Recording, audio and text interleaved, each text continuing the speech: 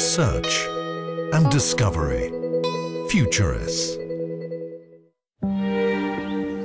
Despite the appearance of winter here in a forest in central Finland, it is in fact springtime. The only human activity consists of scientists on the hunt for rodents. They are trying to understand the increase in diseases transmitted from animals to humans, one of the many known as emerging diseases.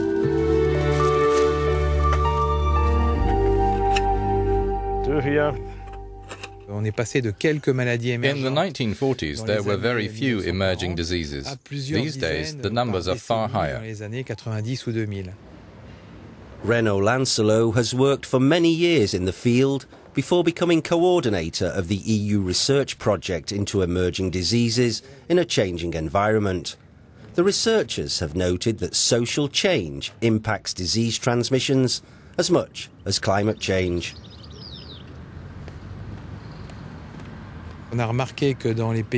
We've seen that in the Central and Baltic euh, European countries, because of the collapse of the Soviet bloc, a lot of people suffered euh, economically, losing their jobs with no resources. So they started to go to the forest to pick mushrooms, blueberries, wild berries. This contact with nature introduced people to ticks and insects and rodents that could transmit certain diseases to humans transmettent certaines maladies à l'homme. This project studies diseases transmitted by mosquitoes or ticks and rodents. Heikki Henttonen has been working with rodents for 40 years. They transmit diseases like hemorrhagic fever with renal syndrome, which most of the scientists on the team have contracted.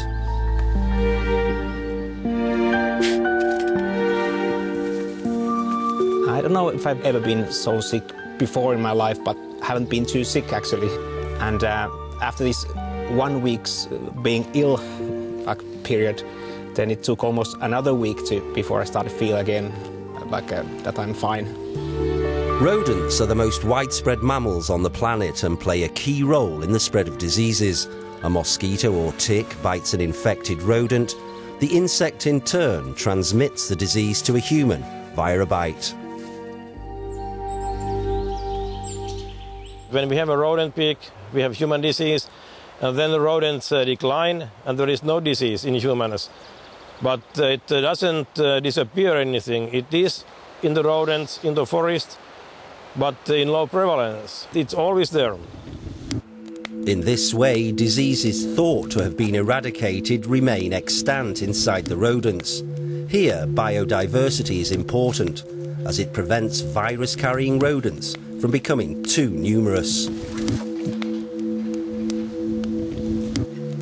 With the deforestation and so on, that you, you can have tens of species with low densities, and then you uh, destroy the forest for agriculture, for palm oil, anything, maybe one or two species remain. And they can reach high densities. And if they are carrying dangerous viruses, then we get a problem because the rodent density of the host species is much higher and they can spread the virus to humans. To learn how to control these diseases, scientists take rodent samples from across the globe. They combine it with rodent study in their natural habitats. We have to understand the population dynamics of the rodents. Because when we understand the rodents, then we know what happens and how the virus is transmitted to humans. Some of these samples, which are sent from all over the world, end up here in Helsinki. The Finnish capital has one of the best laboratories in Europe devoted to the study of animal to human disease transmission. It was here 30 years ago that one virus that causes hemorrhagic fever with renal syndrome was discovered. This disease is caused by rodent excrement. Scientists now study samples from both humans and animals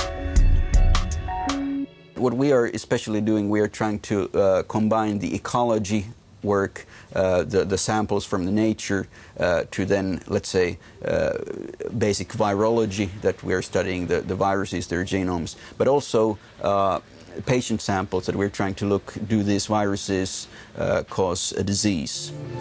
The results of these genetic analyses are passed on to Montpellier in the south of France. Here, they study rodent genetics. First, they classify each rodent, a job that often leads to the discovery of new species. Then they see if the viruses found in one of these species could infect other species of rodents. If we take one rodent species that colonizes a new country or a new environment with all the diseases that they carry, it's important to know if these viruses can be transmitted to the species that are already present in this new country or environment, or if the disease will not be transmitted to local rodent species because this rodent species doesn't have the genetic characteristics that make them susceptible. But how can rodents or other animals colonize a new environment? The answer is simple in the same way as humans. Les souris, mais aussi les moustiques, rodents, but also mosquitoes and any other animal can take a plane or a boat in containers.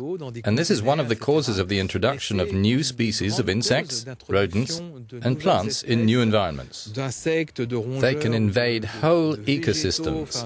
Toute espèce dite euh, invasive euh, dans de nouveaux écosystèmes. Disease does not respect borders, and that's why, from the very outset, scientists put the emphasis on international cooperation, involving 48 institutes from 24 countries. When we understand what happens locally in different parts of Europe and, and what other environmental and other causes for the disease uh, patterns, then we can make uh, predictive models and we can make risk assessments to, to help people to avoid the disease. The predictive models indicate when and where disease outbreaks may happen due to climate change, new habits, or even new viruses or diseases to prepare us for future epidemics.